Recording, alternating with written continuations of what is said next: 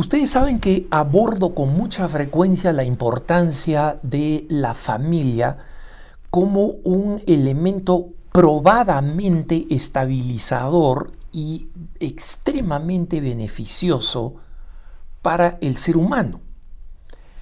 Y he hablado cómo las familias estables, papá y mamá, el asegurar la estabilidad económica, la estabilidad psicológica y en consecuencia los estudios sociológicos que hacen para, eh, para estudiar el efecto positivo de la presencia de los padres en un hogar bien constituido o el efecto negativo confirman lo que la iglesia siempre ha dicho, ¿no? que, la, que la célula básica de la sociedad es la familia es la célula básica de la sociedad y es la iglesia, es la iglesia doméstica, ¿no? Y que este, como institución histórica para la humanidad precede a la iglesia, porque recordemos que la familia se origina para nosotros desde el momento de la creación, cuando eh, Dios mismo, antes del pecado original, invita al hombre y a la mujer a crecer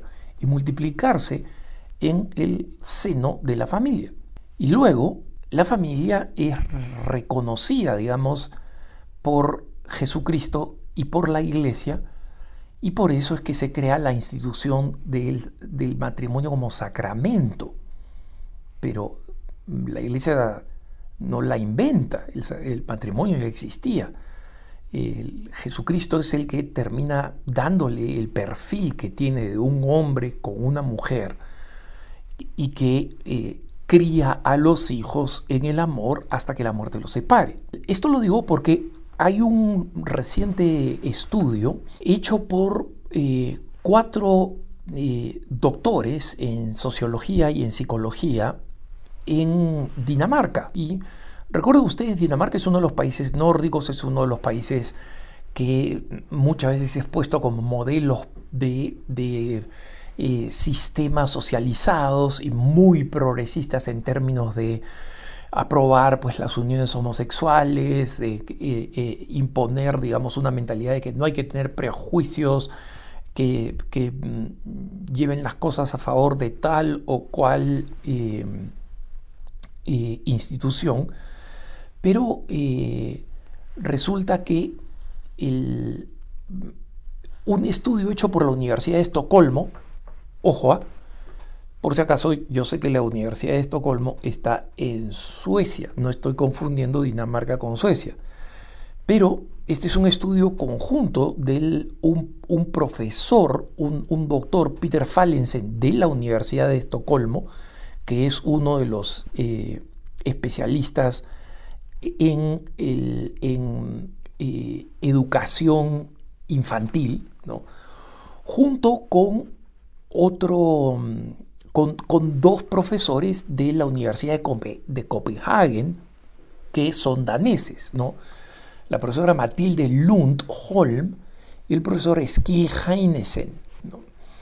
Y ellos publicaron recientemente, eh, a final del, del 2022, un estudio que a comienzos del 23, por lo menos el, resumen, ¿no? Eh, publicado en inglés, que em, habla de, eh, o mejor dicho, el tema que investiga es los efectos de la, de la disolución parental en las calificaciones escolares de los niños. O sea, en otras palabras, en sencillo, ese es el título oficial. ¿no? Pero en otras palabras, lo que hacen es ver cuando papá y mamá se separan o se divorcian. Esto tiene un efecto negativo en, los, en el rendimiento escolar de los niños, en el rendimiento en sus estudios. Muchos de ustedes van a decir, bueno, Alejandro, pero eso no necesita este, estudiarse, ¿no? Nosotros sabemos que cualquier niño, especialmente eh, si es pequeño y es testigo del divorcio, de la separación de sus padres, va a entrar en un estado de estrés que necesariamente va a influir en su rendimiento escolar, va a estar más preocupado. Muchas veces los niños, como sabemos, se echan la culpa a ellos de que los papás se separen, ¿no? Es una reacción natural. Pero todos esos datos nosotros los sabemos de manera anecdótica, porque conocemos un niño acá, porque sabemos, porque nos ha pasado a nosotros, ¿no? Eh, en el caso de los que, como quien les habla, eh, en algún momento de su vida sufrió pues la separación de sus padres, ¿no?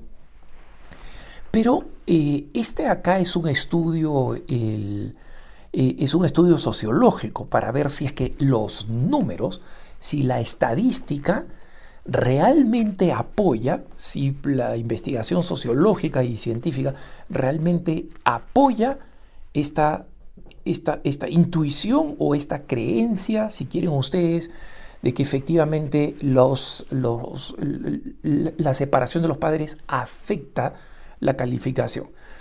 Y obviamente la respuesta es, por supuesto que sí. Y, esto hay que tener en cuenta que en, los países nórdicos y especialmente en Dinamarca, que es donde se ha hecho este estudio con la información estadística proporcionada por el Estado, hay mm, básicamente el, el, estigma, digamos, social del divorcio prácticamente ha desaparecido, ¿no? Y la ley, la sociedad, los, los mismos daneses hacen pues que los divorcios sean lo más sencillos posibles, lo más simples posibles, lo más amigables posibles, lo más civiles posibles, ¿no?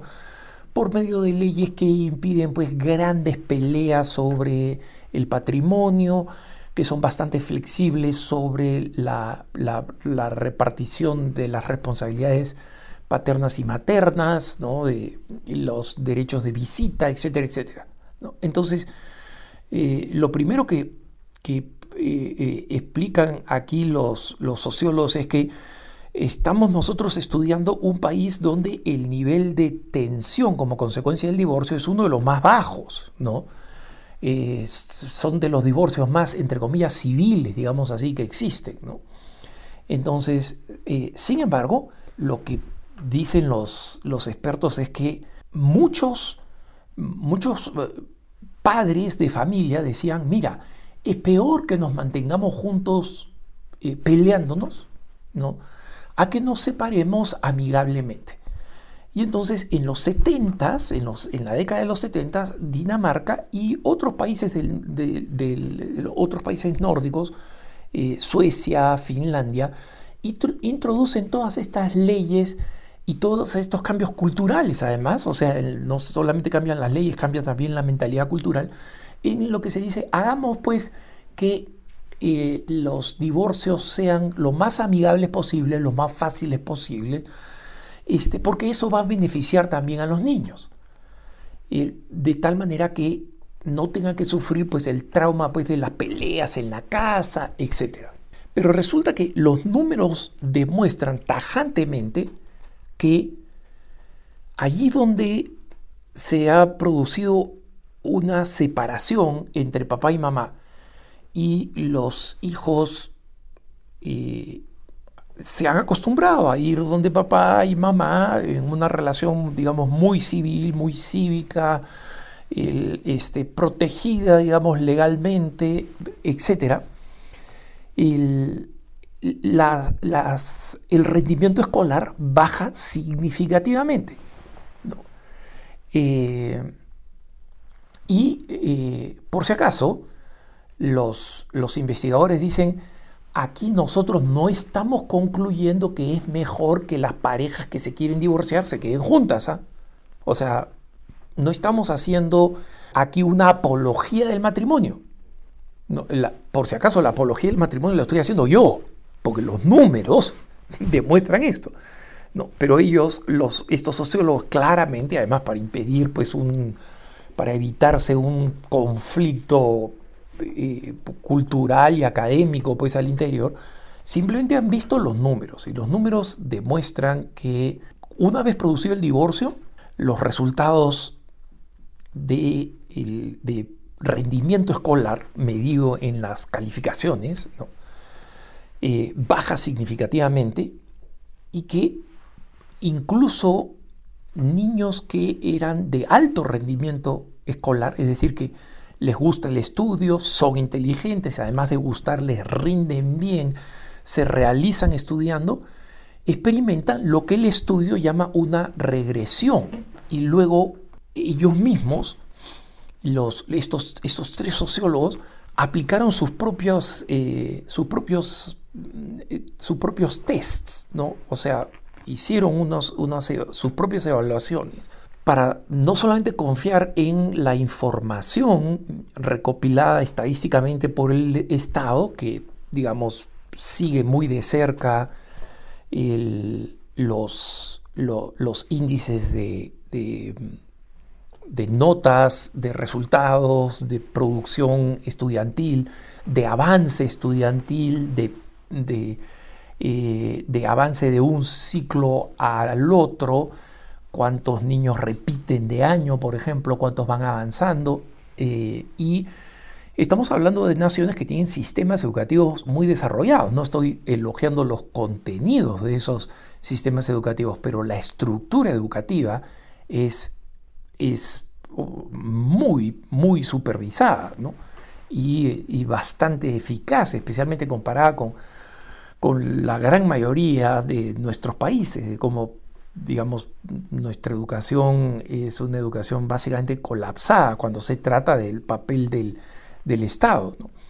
Entonces, básicamente, mm, apunto a este, a este indicativo adicional de qué importante que es la familia, qué importante es que un niño crezca con un papá y una mamá. Una vez más, los sociólogos son sociólogos, estos tres que, han realizado este estudio, eh, señalan que si los dos papás están presentes, la, productividad estudiantil es mucho más alta, los resultados son más predecibles y más estables, y donde están separados, los números bajan significativamente de lado a lado sociológicamente, digamos, ¿no? O sea, con, con, niños de la escuela primaria, de la escuela elemental, eh, a lo largo de todo el país, y que, y una vez más, ellos dicen, no estamos diciendo que, que los, los resultados van a mejorar si es que los, los papás siguen unidos, pues, a este eh, a pesar de las diferencias, a pesar de que se van a seguir peleando, no, no estamos argumentando a favor de eso. Pero a mí me parece que los números demuestran, estos resultados demuestran una vez más, cómo el estado natural para un niño es, y, y, para un hijo, que luego va a ser un adulto, es la unión de padre y madre. Y en consecuencia, por lo menos para los católicos que se toman en serio el matrimonio y la familia, sepan que ese matrimonio y esa familia no solamente los va a realizar como personas y no solamente los va a santificar como católicos, sino que de esa estructura fundamental que llamamos célula, de la, célula básica de la sociedad, es en realidad bajo cualquier medición económica, eh, psicológica, sociológica, etcétera, educativa, es la institución más sólida y más prometedora para el bienestar de los seres humanos. Que tengas un buen día.